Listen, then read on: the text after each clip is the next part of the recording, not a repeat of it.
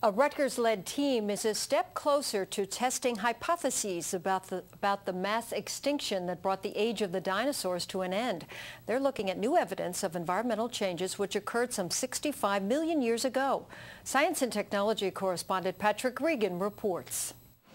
Cylindrical cores recovered from drilling operations across New Jersey's coastal plain, with most sites located near known outcrops of marine sediments from around 65 million years ago, are now stored at Rutgers in Piscataway.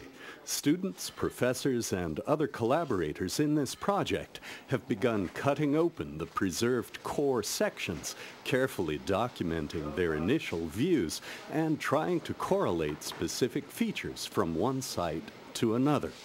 Layers representing the transition now called the Cretaceous-Paleogene boundary should yield fresh evidence of how and why so many species died out at that time.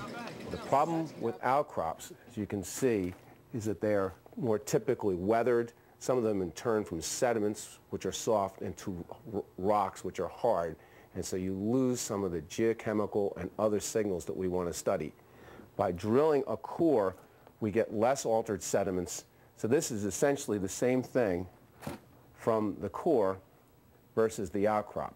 In the field, the ends of core sections serve as a rough guide. Split sections reveal much more, but the proof is in closer examination of small samples.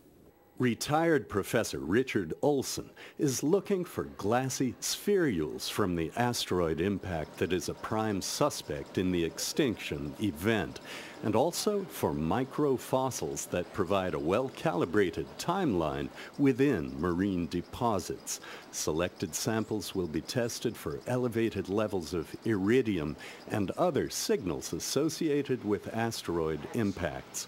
One of the keys and one of the challenges is determining if and how layers have been disturbed or materials have been transported over time.